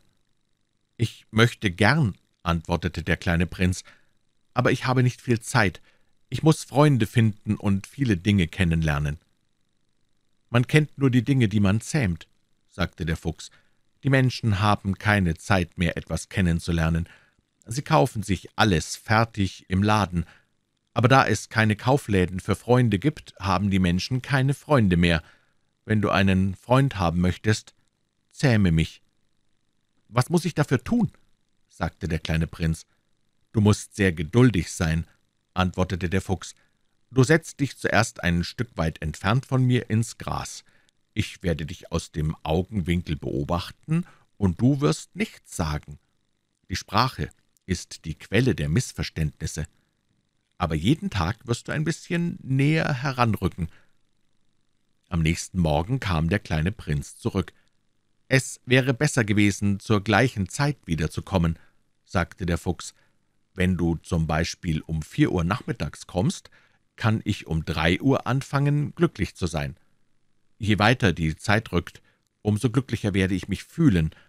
Um vier Uhr werde ich dann schon beunruhigt sein und mir Sorgen machen. Ich werde entdecken, wie wertvoll das Glück ist. Wenn du aber irgendwann kommst, werde ich nie wissen, wann mein Herz sich darauf vorbereiten soll.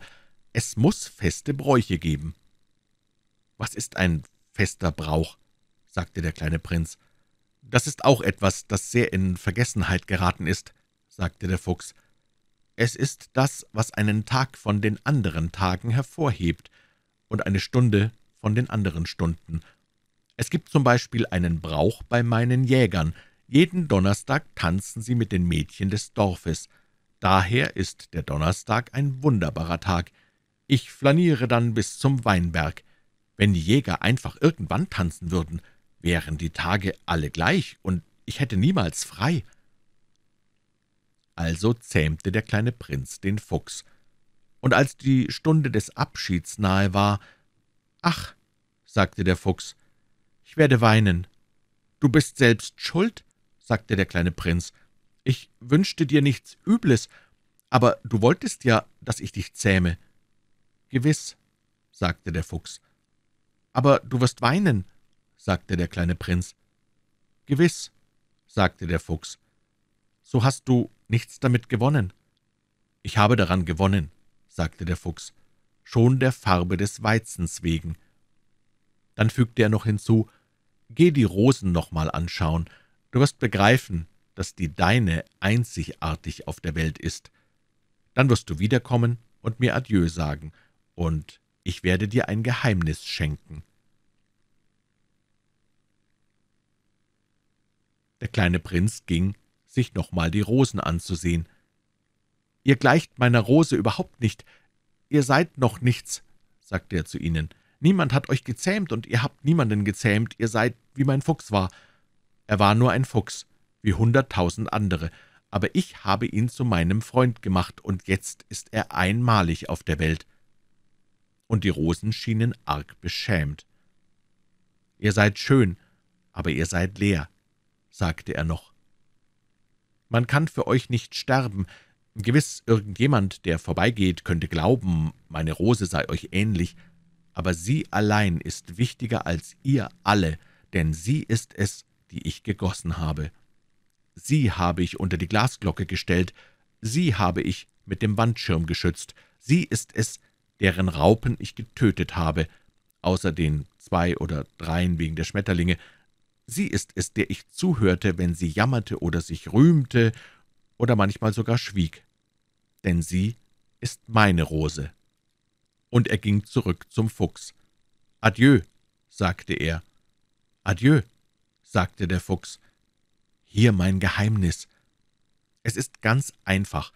Man sieht nur mit dem Herzen gut. Das Wesentliche ist für die Augen unsichtbar.« »Das Wesentliche ist für die Augen unsichtbar«, wiederholte der kleine Prinz, um es sich zu merken. »Die Zeit, die du an deine Rose verloren hast, macht deine Rose so wichtig. Die Zeit, die ich an meine Rose verloren habe, sagte der kleine Prinz, um es sich zu merken. »Die Menschen haben diese Wahrheit vergessen«, sagte der Fuchs, »aber du darfst sie niemals vergessen. Du wirst für immer verantwortlich sein für die, die du gezähmt hast. Du bist verantwortlich für deine Rose. »Ich bin verantwortlich für meine Rose«, wiederholte der kleine Prinz, um es sich gut zu merken. Kapitel 22 »Guten Tag«, sagte der kleine Prinz. »Guten Tag«, sagte der Weichensteller. »Was machst du da?« sagte der kleine Prinz. »Ich sortiere die Reisenden in Paketen zu tausend«, sagte der Weichensteller. »Ich schicke die Züge, die sie fortbringen, mal nach rechts, mal nach links.« Und ein hell erleuchteter Schnellzug, grollend wie der Donner, ließ das Weichenstellerhäuschen erzittern. »Die haben es recht eilig«, sagte der kleine Prinz. »Was suchen Sie?« »Selbst der Mann in der Lokomotive weiß es nicht«, sagte der Weichensteller und in die andere Richtung grollte ein zweiter erleuchteter Schnellzug. »Sie kommen schon zurück?« fragte der kleine Prinz. »Das sind nicht dieselben«, sagte der Weichensteller. »Es wechselt.« »Waren Sie nicht zufrieden dort, wo Sie waren? Man ist nie dort zufrieden, wo man ist«, sagte der Weichensteller. Und es grollte der Donner eines dritten gleißenden Schnellzuges. »Sind die hinter den ersten Reisenden her?« fragte der kleine Prinz. »Sie sind hinter gar nichts her«, sagte der Weichensteller. »Sie schlafen dort drinnen oder sie gähnen auch, nur die Kinder drücken ihre Nasen gegen die Fensterscheiben.« »Nur die Kinder wissen, was sie suchen«, sagte der kleine Prinz. »Sie vertreiben sich die Zeit mit einer Stoffpuppe, und die Puppe wird ihnen sehr wichtig, und wenn man sie ihnen wegnimmt, weinen sie.« »Sie haben Glück«, sagte der Weichensteller. Kapitel 23 »Guten Tag«, sagte der kleine Prinz. »Guten Tag«, sagte der Händler. Er handelte mit hochwirksamen Pillen, die den Durst stillen. Man schluckt sie einmal in der Woche und verspürt kein Bedürfnis mehr zu trinken. »Warum verkaufst du das?« sagte der kleine Prinz. »Das spart viel Zeit«, sagte der Händler. »Die Experten haben Berechnungen gemacht. Man spart 53 Minuten pro Woche.« und was macht man mit diesen 53 Minuten? Man macht damit, was man will. Wenn ich 53 Minuten übrig hätte, sagte der kleine Prinz, würde ich ganz gemütlich zu einem Brunnen laufen. Kapitel 24 Der achte Tag meiner Panne in der Wüste war gekommen, und ich hörte gerade die Geschichte vom Pillenverkäufer, als ich den letzten Tropfen meines Wasservorrates trank.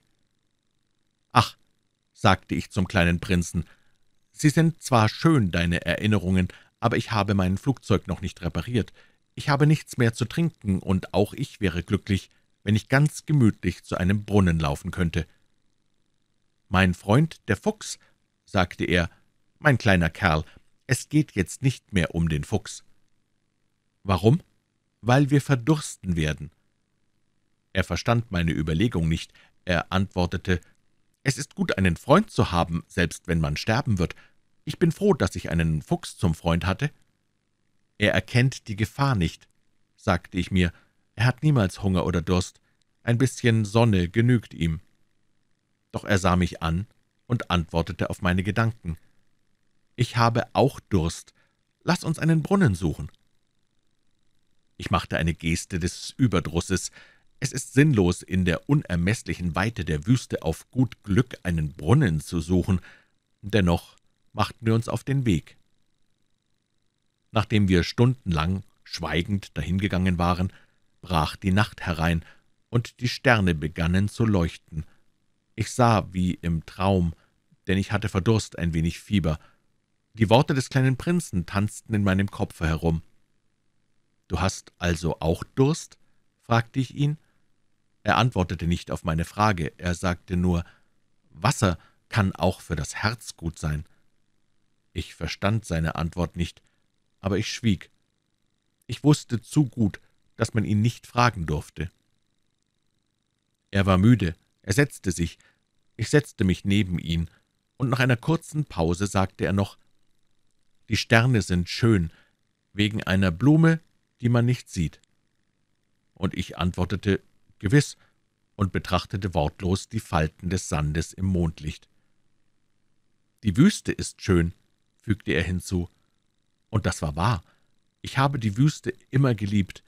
Man setzt sich auf eine Sanddüne, man sieht nichts, man hört nichts, und dennoch strahlt in der Stille eine Kraft.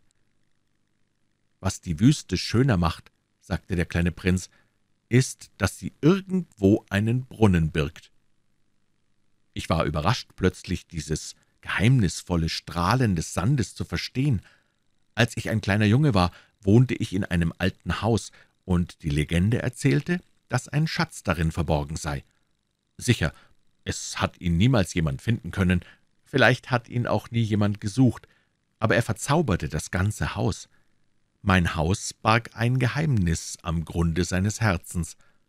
»Ja«, sagte ich zum kleinen Prinzen, »ob es sich um das Haus, um die Sterne oder um die Wüste handelt, der Kern ihrer Schönheit ist unsichtbar.« »Ich bin froh«, sagte er, »dass du meinem Fuchs zustimmst.« Der kleine Prinz schlief ein. So nahm ich ihn in die Arme und ging weiter. Ich war gerührt. Es kam mir vor, als trüge ich einen zerbrechlichen Schatz. Es schien mir sogar, als gäbe es nichts Zerbrechlicheres auf der Welt. Ich betrachtete im Mondlicht diese blasse Stirn, diese geschlossenen Augen, diese im Wind zitternden Haarsträhnen, und ich sagte mir, was ich da sehe, ist nur eine Hülle, das Wesentliche ist unsichtbar. Da seine halb geöffneten Lippen ein wenig lächelten, sagte ich mir noch, was mich an diesem kleinen, eingeschlafenen Prinzen so sehr rührt, ist seine Treue zu seiner Blume, ist das Bild einer Rose, das ihn durchstrahlt wie die Flamme einer Lampe, selbst wenn er schläft. Und er schien mir noch zerbrechlicher als bisher. Lampen muss man gut schützen, ein Windstoß kann sie auslöschen. Und während ich so weiterging, entdeckte ich bei Tagesanbruch den Brunnen. Kapitel 25 »Die Leute«, sagte der kleine Prinz, »drängeln sich in die Schnellzüge, aber sie wissen gar nicht, was sie suchen. Darum sind sie hektisch und drehen sich im Kreis.« Und er fügte hinzu, »Das ist nicht die Mühe wert.« Der Brunnen, den wir erreicht hatten, sah nicht aus wie ein üblicher Brunnen in der Sahara. Die Brunnen der Sahara sind einfache, in den Sand gegrabene Löcher, der da aber sah aus wie ein Dorfbrunnen. Aber es war kein Dorf da, und ich glaubte zu träumen. »Das ist merkwürdig«, sagte ich zum kleinen Prinzen. »Alles ist bereit, die Laufrolle, der Eimer und das Seil.« Er lachte, nahm das Seil, setzte die Laufrolle in Gang, und die Rolle ächzte, wie eine alte Wetterfahne ächzt, wenn der Wind für lange Zeit geschlafen hatte. »Hörst du?« sagte der kleine Prinz. »Wir wecken den Brunnen auf, und er singt.« Ich wollte nicht, dass er sich anstrengte. »Lass mich das machen«, sagte ich. »Das ist zu schwer für dich.« Langsam zog ich den Eimer bis zum Brunnenrand. Ich stellte ihn dort schön gerade hin. In meinen Ohren hörte ich noch das Singen der Laufrolle, und im schwappenden Wasser sah ich die Sonne funkeln. »Ich habe Durst nach diesem Wasser«, sagte der kleine Prinz. »Gib mir zu trinken.« Und ich begriff, was er gesucht hatte. Ich hob den Eimer an seine Lippen. Er trank, die Augen geschlossen. Das war süß wie ein Fest. Dieses Wasser war etwas ganz anderes als nur Nahrung, es war entsprungen aus dem Marsch unter den Sternen, aus dem Gesang der Laufrolle, aus der Anstrengung meiner Arme.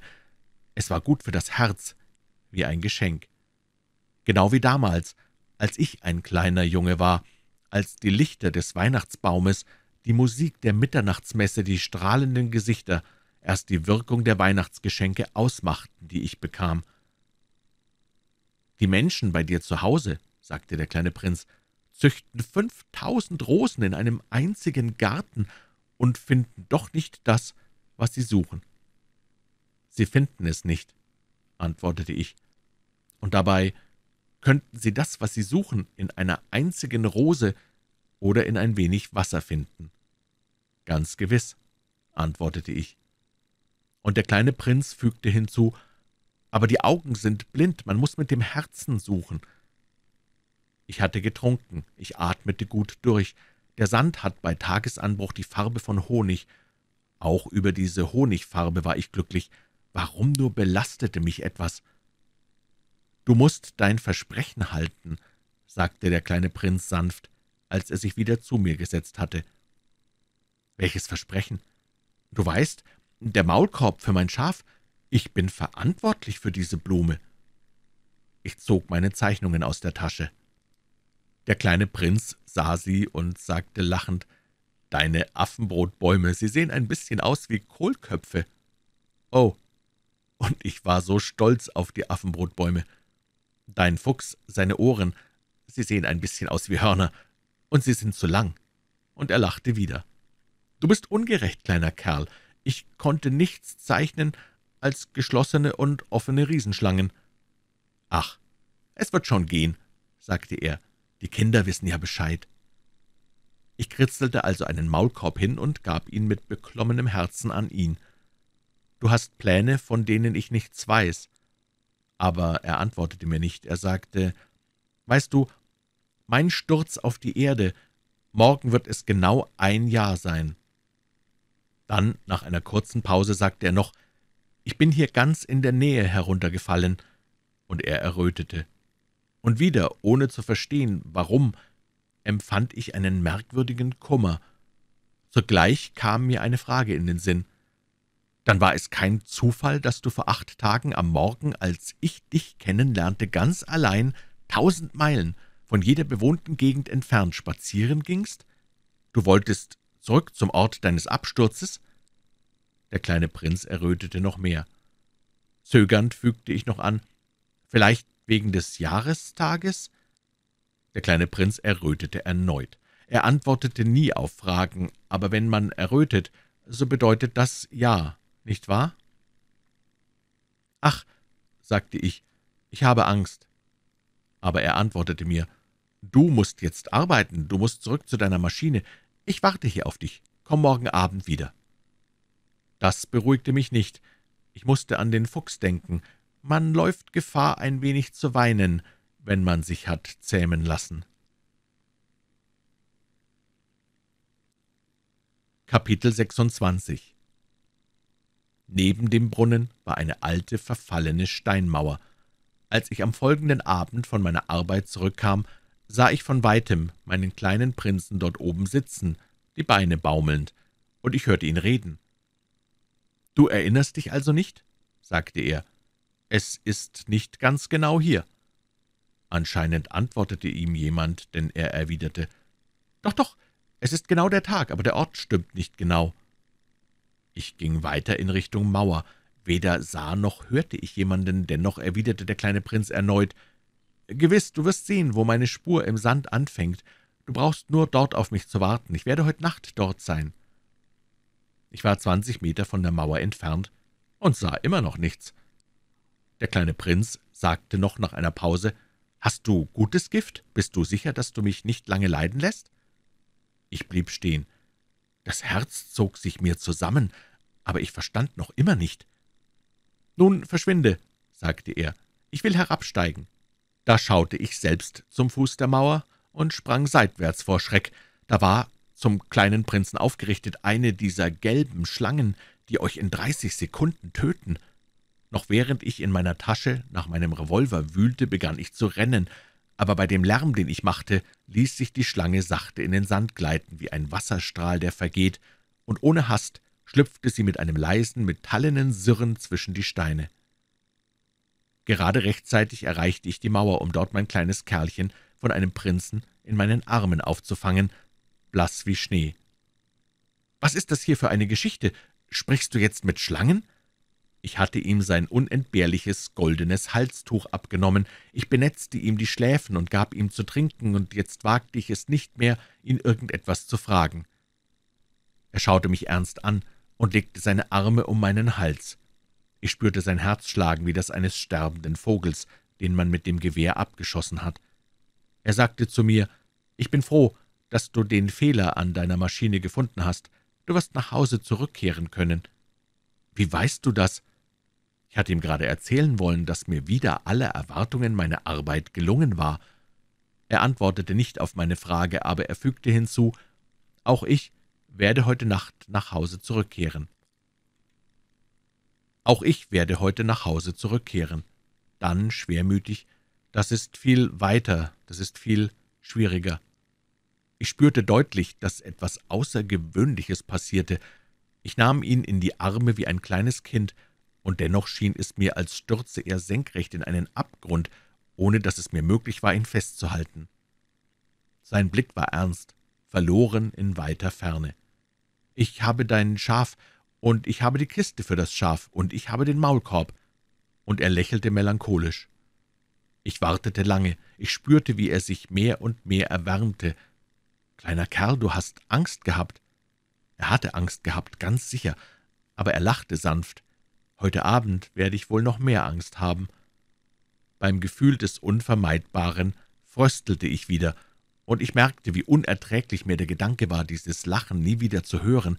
Es war für mich wie ein Brunnen in der Wüste. »Kleiner Kerl, ich will dich noch mal lachen hören.« Aber er sagte zu mir, »Heute Nacht ist es ein Jahr.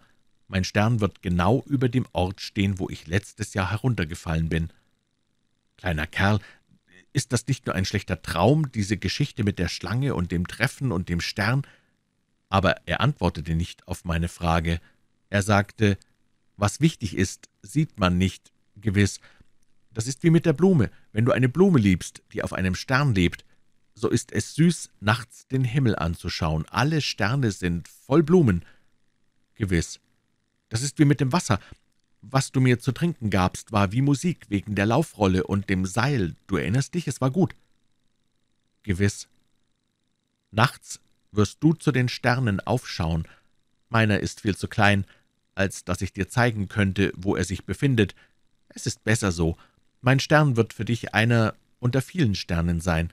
Dann wirst du alle Sterne gern anschauen. Sie werden alle deine Freunde sein. Und dann werde ich dir ein Geschenk machen.« er lachte noch.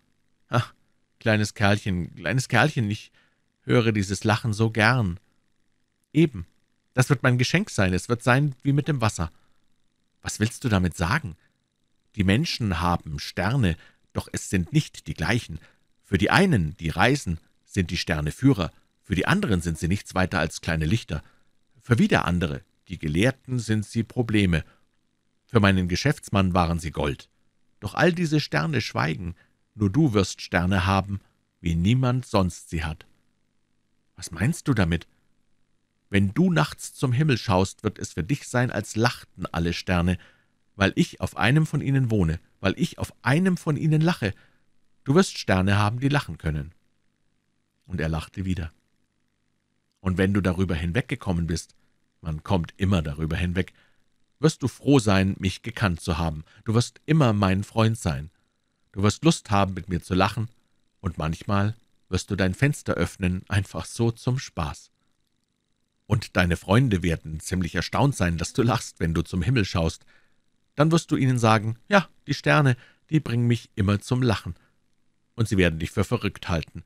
Ich werde dir einen üblen Streich gespielt haben. Und er lachte wieder. Es wird sein, als hätte ich dir statt der Sterne einen Haufen kleiner Glöckchen geschenkt, die lachen können. Und er lachte nochmal, dann wurde er wieder ernst. »Heute Nacht, weißt du, komm nicht. Ich lass dich nicht allein.« Aber er war besorgt. »Ich sage dir das, es ist auch wegen der Schlange. Sie darf dich nicht beißen, Schlangen sind bösartig, sie beißen auch zum Vergnügen.« »Ich lass dich nicht allein.« Aber etwas beruhigte ihn. »Sie haben für den zweiten Biss kein Gift mehr. Das stimmt schon.« In jener Nacht habe ich nicht gesehen, wie er sich auf den Weg machte. Er war lautlos verschwunden. Als ich ihn endlich einholen konnte, ging er mit entschlossenen, schnellen Schritten voran. Er sagte nur, »Ah, du bist da!« Und er nahm mich bei der Hand, aber er quälte sich noch immer. »Du hast einen Fehler gemacht. Du wirst Kummer haben. Es wird aussehen, als wäre ich tot, aber das wird nicht wahr sein.« Ich schwieg.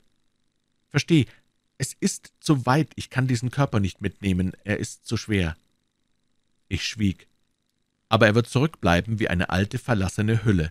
Um so eine alte Hülle ist es nicht schade.« Ich schwieg. Er verlor ein bisschen den Mut, doch dann sammelte er sich wieder. »Es wird nett sein, weißt du, auch ich werde zu den Sternen hinaufsehen. Alle Sterne werden Brunnen mit einer eingerosteten Laufrolle sein. Alle Sterne werden mir zu trinken geben.« Ich schwieg. »Es wird so lustig sein, du wirst fünfhundert Millionen Glöckchen haben. Ich werde fünfhundert Millionen Brunnen haben.« Und auch er schwieg, weil er weinte. »Hier ist es. Lass mich den Schritt ganz alleine machen.« Und er setzte sich hin, denn er hatte Angst. Er sagte noch, »Weißt du, meine Blume, ich bin für sie verantwortlich. Und sie ist so schwach. Und sie ist so naiv. Sie hat vier Dornen, so gut wie nichts, um sich gegen die Welt zu schützen. Ich setzte mich, weil mir der Boden schwand. Er sagte, »Hier, das ist es.« Er zögerte noch ein bisschen, dann stand er auf. Er ging einen Schritt vorwärts. Ich konnte mich nicht rühren. Es war nichts zu sehen, nur ein gelber Blitz bei seinem Knöchel. Einen Augenblick stand er reglos, er schrie nicht, er fiel langsam, so wie ein Baum fällt. Wegen des Sandes machte selbst das kein Geräusch.